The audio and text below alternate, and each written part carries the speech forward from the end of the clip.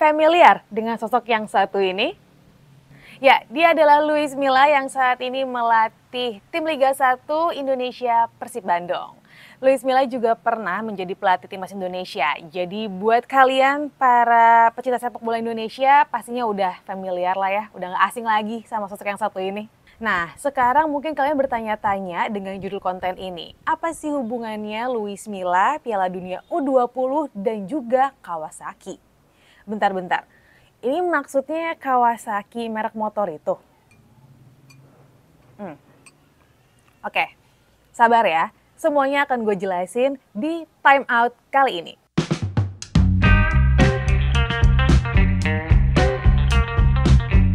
Piala Dunia U20 pernah digelar di Mesir pada tahun 2009. Dan ketika itu, Luis Milla masih menjadi pelatih timnas Spanyol U20. Mungkin kalau saat itu gue adalah fans timnas Spanyol, mungkin gue akan berharap banyak sama anak asuh Luis Milla. Kenapa gitu? Nih, gue ceritain ya. Di Piala Dunia U20 2009 itu timnas Spanyol U20 tergabung di dalam grup B. Dan di laga pertamanya mereka berhasil meraih kemenangan dengan skor besar yaitu 8-0. Bayangin aja, 8-0. Spanyol yang saat itu diperkuat oleh Cesar Azpilicueta, Dani Parejo, Jordi Alba dan juga Ander Herrera berhasil mengalahkan Tahiti dengan skor yang sangat fantastis.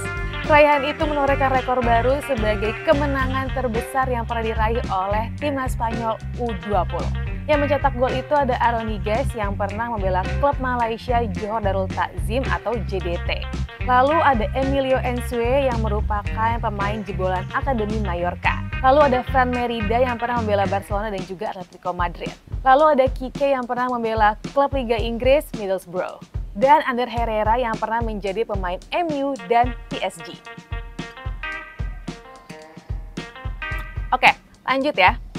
Di laga kedua grup B, pasukan Luis Milla juga belum kebobolan.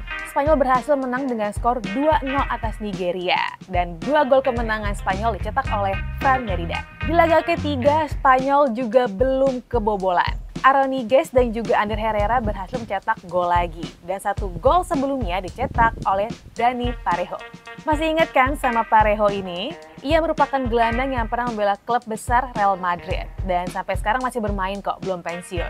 Saat ini ia membela klub Villarreal.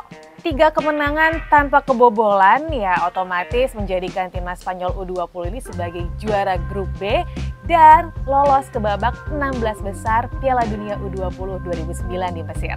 Dan siapakah lawan mereka? Jawabannya adalah Italia.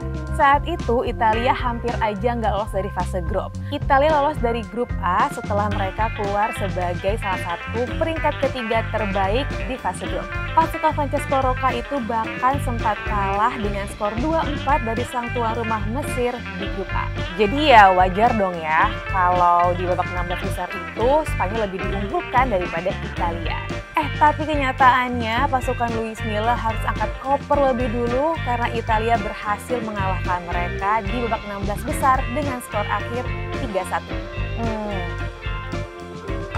Jadi masih ada yang nanya ya, apa hubungannya sama Kawasaki?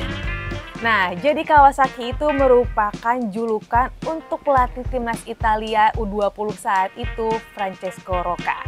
Tapi kenapa julukannya malah merek motor Jepang? Padahal kan dia orang Italia.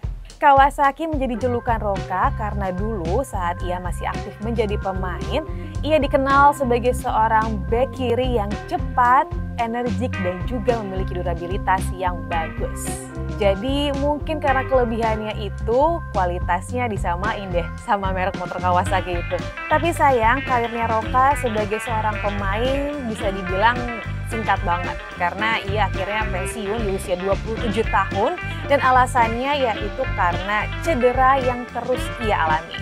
Nah, jadi itu dia ya guys hubungannya antara Luis Milla, Piala Dunia U20 dan juga Kawasaki. Nantikan ya kisah-kisah menarik selanjutnya hanya di Time Out. Sampai jumpa!